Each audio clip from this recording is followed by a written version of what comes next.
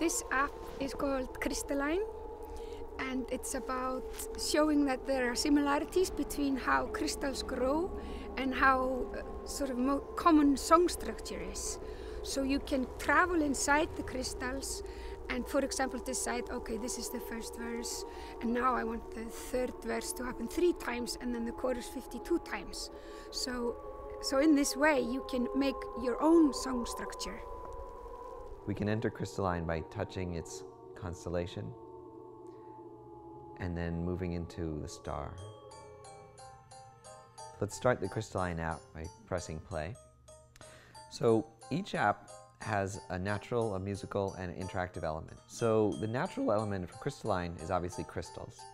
And what you're doing here is you're flying through these crystal tunnels, collecting crystal formations. And as you come out of a tunnel, you can then tilt the iPad and choose a new place to go. The musical aspect of crystalline is about musical structure. So what you do with this app is you're making choices about which part of the song to enter as you come out of a tunnel.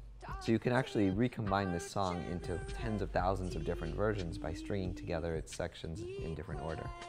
So here we come out again and we can go into a different tunnel by tilting. And you also see the rhythm track visualized below as a, a different kind of crystal. You want to only collect the crystals on the right that are listed there, so I'm waiting right now for a turquoise crystal. And what happens as you get more combinations, it unlocks more possibilities. And sometimes you get lucky and you get into that universe and you've completed a crystal. Now it's possible to save a crystal into a gallery and then of course you can go back and play again.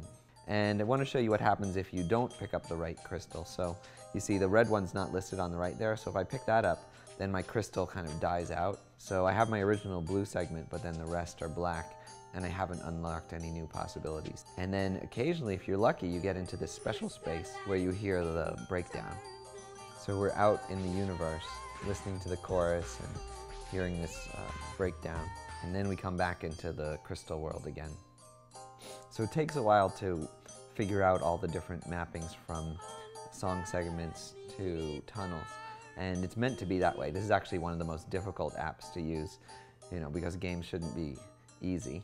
You actually have to play it for a long time to understand all its details and unlock its secrets. So every single app has a kind of back menu page that you can always reach by touching this compass icon. So you can actually go in here. A lot of people don't realize this, but you can go behind the scenes to the crystalline menu and click on unlock tunnels and it shows you uh, the different tunnels that you've unlocked.